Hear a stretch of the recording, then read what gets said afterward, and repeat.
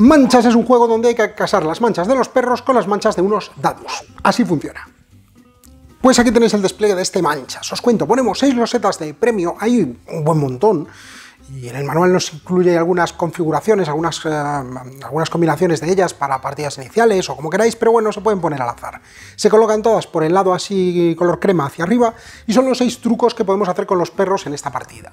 Tenemos el mazo de cartas de perro, cada jugador tendrá dos perros. El resumen, perdón, el conjunto de la reserva de dados y la de premios. Y cada jugador tendrá una de estas tablillas que es el jardín, empezará con un premio y con un dado que lanzaremos, y salga el resultado que salga lo colocaremos en nuestro jardín.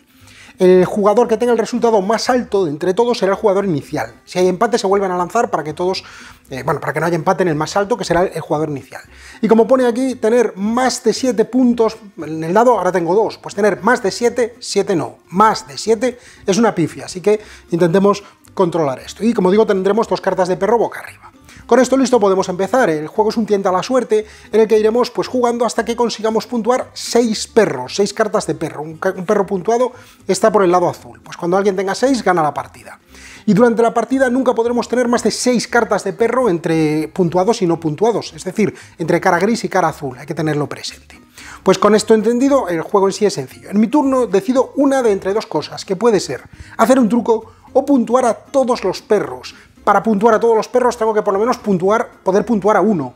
No vale decir, ahora por ejemplo no puedo puntuar. No puedo decir, pues en mi turno voy a puntuar. Uy, no tengo ninguno que puntuar, ya está. No, porque eso sería evitar hacer un truco que no se puede. Solo se puede escoger puntuar y puntuaremos todos solo si tenemos por lo menos uno que puntuar. Bueno, pues la base del turno, que es hacer un truco, que es lo que haremos casi siempre, es escoger una loseta de las que están boca arriba, por el lado marrón, y darle la vuelta. Por ejemplo, esta de andar, que es la más sencilla quizás, dice lanza dos dados y luego puedes lanzar un dado. Bueno, le damos a vuelta, por detrás también lo tenéis, no hay que recordarlo, y hacemos lo que dice. Lanza dos dados, como veis, es obligatorio, solo es opcional lo que dice puedes.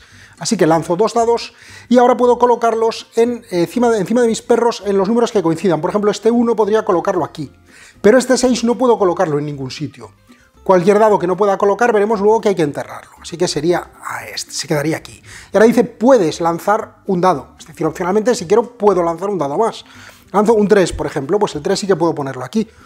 Ya está. Pero los dados que no tengo se tienen que ir a mi jardín. Fijaos que ahora tengo 8 puntos. El eh, máximo era 7. Como tengo 8 puntos, la he pifiado. Cuando la pifio, quito todos los dados y ya está. Siguiente jugador. Suponiendo que esto hubiera ido mejor, por ejemplo, que aquí tuviese el 1, que aquí tuviese el 3, y aquí me hubiese salido, bueno, tenía un 2 en mi, en mi jardín, y aquí me hubiese salido, por ejemplo, un 1, que tampoco puedo colocar, lo llevo al jardín, y listo, le toca al siguiente jugador. Me vuelve a tocar, de momento no puedo puntuar, pues tengo que escoger otra. Si llega un momento en el que todas menos una están boca abajo, porque hemos ido jugando a la partida, lo que hacemos es, antes de escoger, colocamos una ficha de premio encima de la que queda boca arriba y le damos la vuelta. A todas las demás, quiero decir. Ahora, el que escoja esta se llevará un premio. Por ejemplo, si yo ahora escojo esta, me llevo un premio, que dice, di un número y lanza cuatro dados. Descarta los dados cuyo resultado sea mayor que ese número y coloca o entierra el resto. Bueno, pues le doy la vuelta, por ejemplo, y digo un número y lanzo cuatro dados. Pues el número va a ser 2. Eh, de manera que tengo que descartar, lanzo los dados y descarto cualquiera cuyo resultado sea mayor que 2. Y el resto los coloco, los entierro. Pues tiro y fijaos, solo me ha salido un 1. Los demás los, descarto, pero el 1 no me vale, yo quería un 2 para completar esto, así que irá para aquí, de momento no hay pifia. Si me hubiese salido un 2, para que veáis cómo va esto, he completado el perro, pero de momento no lo puntúo. En una siguiente ronda, recordad, en vez de escoger hacer un truco, ahora que tengo perros para puntuar, puedo escoger puntuar si quiero. Si tuviese, si hubiese completado, por ejemplo, los dos, cuando escojo puntuar, puntúo los dos, obligatoriamente, no puedo puntuar solo uno. ¿Qué hago a la hora de puntuar? Quito los dados y le doy la vuelta a las cartas. Y robo nuevas cartas según las que he puntuado. He puntuado dos, robo dos cartas, así que ahora tengo estas. Fijaos que ahora tengo cuatro en total, el máximo son seis en total. Y un último detalle, ¿para qué sirven los huesos, los premios? Bueno, en una tirada cualquiera, vamos a suponer que estoy lanzando mis dados, tengo una mala tirada, que eso no es, no es difícil en mi caso, por ejemplo, lanzo estos cuatro dados, y la tirada, pues, a ver, este 4 no me vale, este 2 y este 1 sí que me permitirían completar, y este 3 también, no ha sido mala tirada. Pero si yo hubiese lanzado, por ejemplo, dos dados y me sale esto que no me vale, puedo gastar uno de los huesos para relanzar mi última tirada. Pero ojo, todos los dados.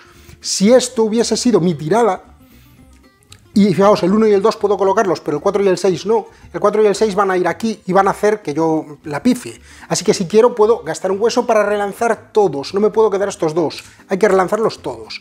Y quizá ahora me vaya mejor. Pues un poco mejor sí, porque el 2 y el 2 lo coloco y el 1 también, pero este 6 llega aquí y hace que la pifie. Bueno, pues ya está, esto es todo. Así vamos jugando hasta que alguien puntúe, tenga por el lado azul 6 cartas. En ese momento se acaba la partida y ese jugador habrá ganado. Sencillo, ¿verdad? Pues esto es manchas. Bye.